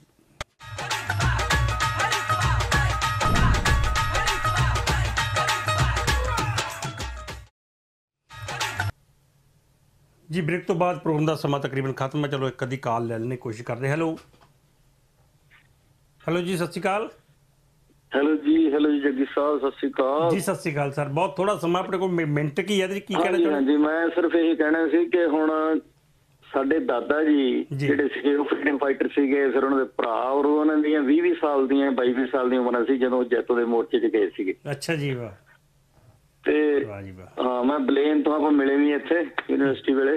ਹੂੰ ਹੂੰ। ਸੁਖਵੰਤ ਸਿੰਘ ਗਿੱਲ ਹਾਂਜੀ। ਜੀ ਜੀ ਜੀ ਅੱਛਾ ਇੱਥੇ ਬਲਿੰਗਮ ਵੀ ਹੁਣ ਤਾਂ ਹੁਣ ਤਾਂ ਉਹ ਗੱਲ ਬਣੀ ਹੈ ਵੀ ਸ਼ੇਰਾਂ ਦੀਆਂ ਮਾਰਾਂ ਤੇ ਗਿੱਦੜ ਕਰਨ ਕਲੋਲਾਂ। ਕਹਿੰਦੇ ਨਾ ਜੀ। ਹੁਣ ਤਾਂ ਇਹ ਜਿਹੜੇ ਲੀਡਰ ਆ ਕਲੋਲਾਂ ਕਰਦੇ ਆ ਇਹ ਮਾੜੀ ਜੀ ਪੈਨਸ਼ਨ ਦੇ ਕੇ ਇਹਨਾਂ ਨੇ ਉਹਨਾਂ ਨੂੰ ਸਾਰਤਾ ਜਿੱਡੀ ਵੱਡੀ ਉਹਨਾਂ ਦੀ ਕੁਰਬਾਨੀ ਆ ਇਹਨਾਂ ਨੂੰ ਬਹੁਤ ਜ਼ਿਆਦਾ ਇਨਸੈਂਟਿਵ ਉਹਨਾਂ ਪਰਿਵਾਰਾਂ ਨੂੰ ਦੇਣਾ ਚਾਹੀਦਾ। ਚਾਹੀਦਾ ਸੀ ਲੌਂਗ ਟਾਈਮ ਲਈ ਤਾਂ ਜੋ ਜਿਹੜਾ ਲਾਸ ਉਹਨਾਂ ਨੇ ਉਦੋਂ ਉਠਾਇਆ। ਹੂੰ। ਉਹ ਉਹਨਾਂ ਪਰਿਵਾਰਾਂ ਨੂੰ ਉਹਨਾਂ ਥੋੜਾ ਵੀ ਕਵਰ ਕਰ ਦਿੰਦੇ। ਜੀ ਬਿਲਕੁਲ। ਤਾਂ ਇਹਨਾਂ ਲਈ ਚੰਗੀ ਗੱਲ ਹੁੰਦੀ। ਜੀ ਬਿਲਕੁਲ ਪਰ ਜੀ ਗੱਡੀਆਂ ਲੈ ਕੇ ਇਹਨਾਂ ਨੇ ਉਹਨਾਂ ਨੂੰ ਬਿਲਕੁਲ ਜਿਹੜੇ ਕੁਰਬਾਨੀ ਵਾਲੇ ਜਿਨ੍ਹਾਂ ਨੇ ਆਪਦੇ ਨੁਕਸਾਨ ਕਰਾ ਲਿਆ ਜ਼ਮੀਨਾਂ ਗਵਾ ਲੀਆਂ। ਲਾਈਫ ਗਵਾ ਲਈ ਸਾਰੀ। ਔਰ ਇਹ ਇਹਨਾਂ ਨੇ ਕੁਝ ਵੀ ਕਦੇ ਨਹੀਂ ਕੀਤਾ ਉਹਨਾਂ ਲਈ। ਜੀ, ਬਿਲਕੁਲ, ਗਿੱਲ ਸਾਹਿਬ। ਲਗੂਣੀ ਜੀ ਪੈਨਸ਼ਨ ਦੇਣ ਤੋਂ ਗਿੱਲ ਸਾਹਿਬ ਬਹੁਤ ਮਿਹਰਬਾਨੀ ਤੁਹਾਡੀ ਬਹੁਤ ਮਾਣ ਮਹਿਸੂਸ ਹੋ ਰਿਹਾ। ਤੁਸੀਂ ਵੀ ਫਰੀडम ਫਾਈਟਰਸ ਦੇ ਫੈਮਿਲੀ ਦੇ ਵਿੱਚ ਉਹ ਸਮਾਂ ਹੁਣ ਅੱਗੇ ਨਹੀਂ ਤਾਂ ਫਿਰ ਗੱਲਾਂ ਜ਼ਰੂਰ ਕਰਾਂਗੇ ਲੰਬੀਆਂ ਫਿਲਹਾਲ। ਖਤਮ ਜਿਹੜਾ ਸਮਾਂ ਹੈਗਾ ਪ੍ਰੋਗਰਾਮ ਦਾ ਉਹ ਖਤਮ ਹੋ ਗਿਆ। ਕੋਈ ਗੱਲਬਾਤ ਕਰਨੀ ਹੋਵੇ ਈਮੇਲ ਕਰ ਸਕਦੇ ਹੋ jaggi@justbroadcasting.com ਜਾਂ ਫਿਰ info@justbroadcasting.com ਇਸ ਤੋਂ ਇਲਾਵਾ ਫੇਸਬੁੱਕ ਟਵਿੱਟਰ ਆ ਜਾਂ ਫਿਰ ਮੇਰਾ ਸੈੱਲ ਨੰਬਰ ਤੁਹਾਡੇ ਕੋਲੇ ਹੈਗਾ 209 450 3362 ਅਖੀਰ ਦੇ ਵਿੱਚ ਸਭ ਨੂੰ ਪਿਆਰ ਭਰੀ ਸਤਿ ਸ਼੍ਰੀ ਅਕਾਲ। ਖੁਸ਼ ਰਹੋ, ਖੁਸ਼ ਰੱਖੋ, ਰੱਬ ਰੱਖਾ। ਜੀਵੇ ਪੰਜਾਬ, ਜੀਵੇ ਪੰਜਾਬੀ। ਨਾਨਕ ਨਾਮ ਚੜ੍ਹਦੀ ਕਲਾ, ਤੇਰੇ ਪਾਣੀ ਸਰਬੱਤ।